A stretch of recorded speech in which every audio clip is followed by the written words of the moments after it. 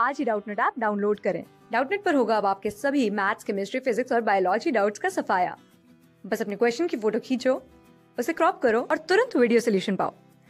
Download now hello students हमारा ये जो क्वेश्चन है, ये सेंटेंस रीअरेंजमेंट का क्वेश्चन है। इसके अंदर हमें सेंटेंस नंबर वन दिया है और सेंटेंस नंबर सिक्स दिया है।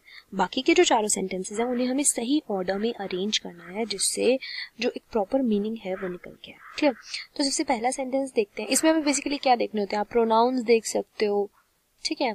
एडवर्ब्स देख सकते हो कनेक्टर्स देख सकते हो, आपको पता चल जाएगा कि कौन सी चीज़ किससे रिलेट करके पूछी हुई है। और आपको एक स्टोरी लाइन जो है वो उसकी देखनी पड़ेगी कि कैसे जो है एक के बाद एक इंसिडेंसेस जो है वो हुए हैं। क्लियर तो सबसे पहला सेंटेंस हमारा दिया है Siberian crane is migratory bird हमें पता चल गया कि साइबेरियन क्रेन के बारे में यहाँ पे बात की गई है, जो कि एक माइग्रेटरी बर्ड है मतलब वो इधर से उधर ट्रैवल करता रहता है।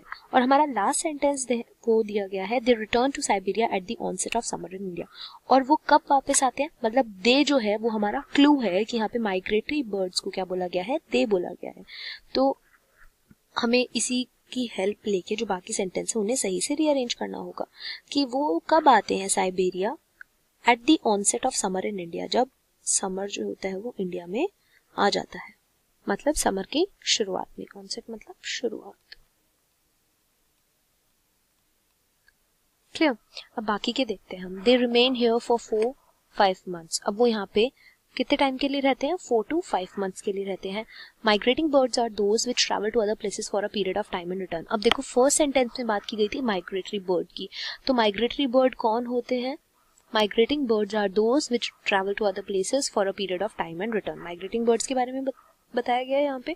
तो मेरा फ़र्स्ट सेंटेंस हो गया दैट इज़ क्यू अब क्यू को कौन सा सेंटेंस फॉलो करता है?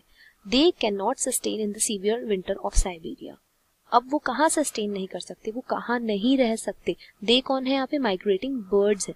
तो इसीलिए क्यू को कौन सा सेंटेंस फॉलो करेगा? आर फॉलो करेगा। तो they can not sustain in the severe winter of Siberia that is हमारा नेक्स्ट हो जाएगा आर आफ्टर दैट सो क्या करते हैं वो? During winters they travel thousands of miles to reach to bird sanctuary in Rajasthan in India इसीलिए वो travel करते हैं थाउजेंड्स ऑफ़ माइल्स कहाँ पहुँचने के लिए? राजस्थान सेंचुरी में पहुँचने के लिए, जो कि इंडिया में है। तो दैट इज़ नेक्स्ट सेंटेंस हो गया हमारा एस एंड आफ्टर दैट कौन सा सेंटेंस बचा है हमारे पास? पी अब वो जो ट्रैवल करते हैं, वो कितने टाइम तक वहाँ पे रहते हैं?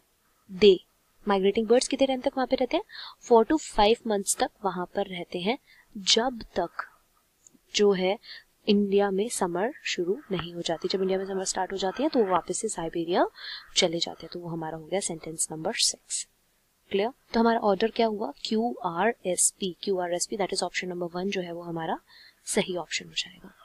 Clear thank you class six से ट्वेल्थ से लेके NEET I I T JEE mains और एडवांस के लेवल तक। दस मिलियन से ज़्यादा स्टूडेंट्स का भरोसा। आज ही डाउनलोड करें डाउट नेट आप या व्हाट्सअप कीजिए अपने डाउट्स आठ चार सौ चार सौ चार सौ पर।